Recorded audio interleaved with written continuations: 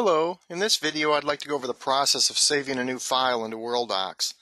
Now I'll be doing this through Microsoft Word, but the process is basically the same whether you're in Word, Excel, PowerPoint, Adobe, or any other application that we have integration with. So I've started typing my document, now I'm ready to save it for the first time.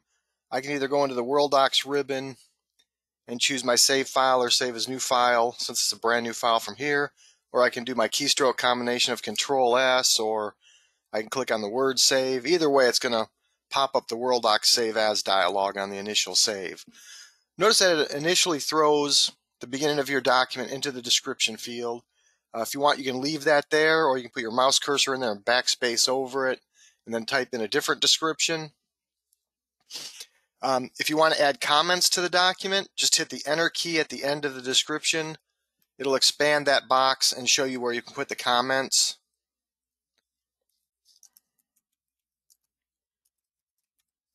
Then you can type in additional comments information. You have a spell check button over here and a undo button as well. So you have those options as available.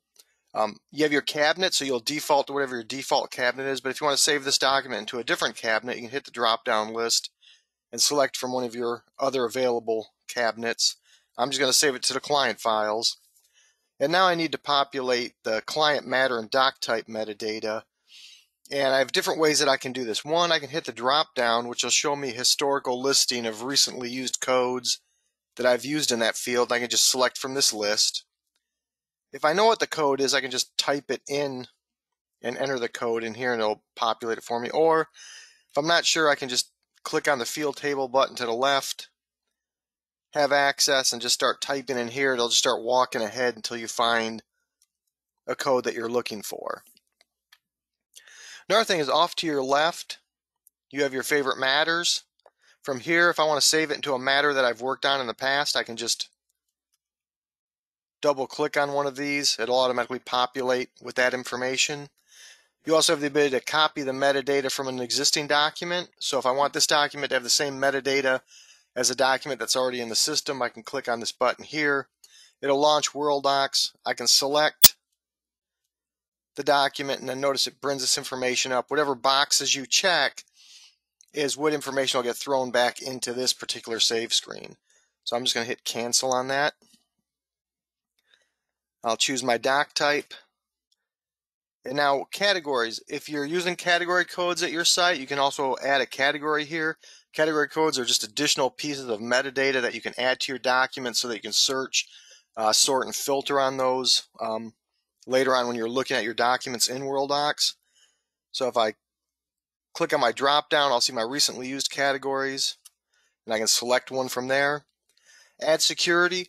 By default, any document you save in Worldox is considered a public document, and anyone that has permissions to this particular cabinet will have full permissions to this document. If you want to add security, you can add security to the document. Click on the button here. Custom, is where you can grant specific privileges or rights to certain users or groups. Hidden and protected will apply directly to user fields on your cabinet, so in this case, author and typist. If I make it hidden, only the author, the typist, and a Worldox manager will be able to find this document and work on this document.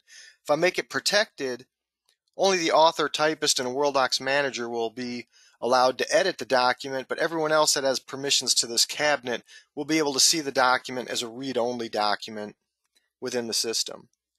If you want to relate this file to another document in the system, you can do that by hitting the Relate To. Save as a version. If let's say I want to, I've tired typing this document up, but now I want to save it as a version of an existing document in the system, I can click on that button and find that existing document and then save it as a version of that document. Save to a project. If you're working with project files in Worldox and you want to add this document to a project, you can click on the Save to Project. It'll bring up this informative dialog telling you what to do. Then over here you have your project files. You just select what project you want to add it to and check the box and notice it adds it there. I'm going to undo this and close that out. Then you have make default. So if you want to set your defaults for your saves, you can set that as well. You also have the ability to save as a different file type. So it's going to default to whatever the default is for the native application. In this case, a docx file for Word. but it'll also allow you to save to whatever file formats that application will allow you to save to natively. So let's say you want to save this Word document as a PDF file.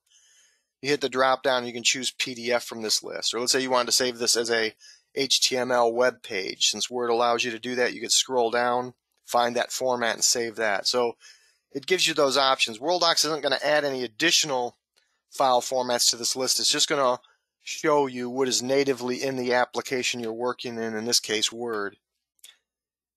And then we'll go ahead and we'll click the OK button to save this document. Now, once the document's saved, you'll notice that it puts the descriptive name in the title bar along with the document number that's generated by Worldox. If I type in some more text and then hit the save button again, notice it doesn't prompt me for any additional information. You're only going to see that prompt on the initial save or if you do a save as on an existing document. So once I close this document, I open it back up to work on it and type some more and hit save. It's just going to save it to where you initially profiled that document. And so that's how you initially save your documents within Worldox.